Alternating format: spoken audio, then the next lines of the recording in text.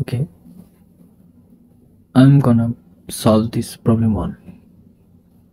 Here this is a moist soil sample and volume is 0.33 feet cube. And weight is 39.93 pound. And the dry weight which means WS or MS it also means M total mass. So dry weight is 34.54 pound and finally specific gravity is 2.67 the first question is to calculate the moisture content.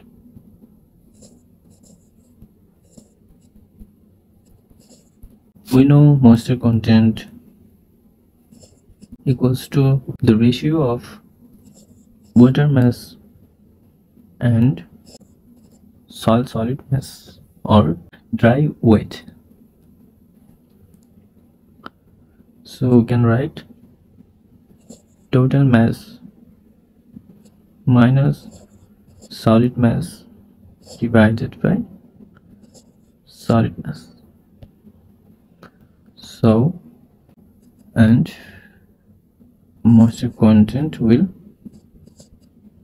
15.6 percent okay. The second question is to calculate moist unit weight.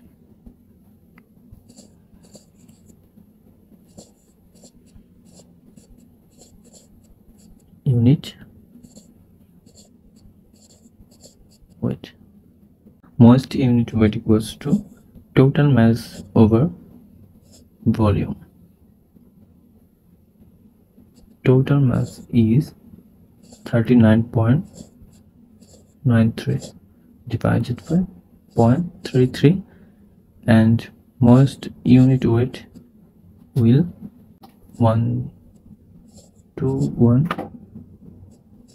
pound per feet cube. Okay. The third question is to determine dry unit weight. Okay we know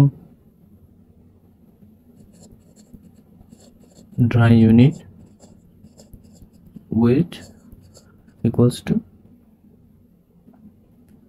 soil solid mass divided by volume. So dry unit weight will 104.67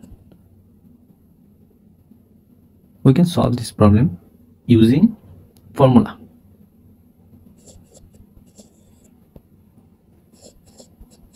Per feet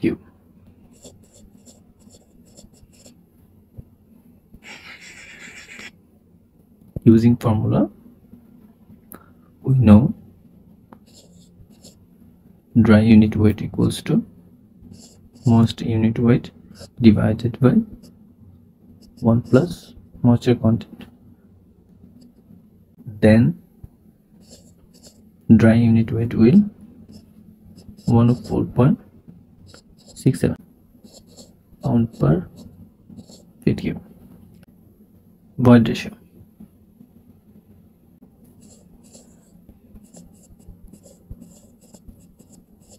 Void ratio. We know dry unit weight equals to specific gravity into unit weight constant unit weight divided by 1 plus void ratio. So void ratio will specific gravity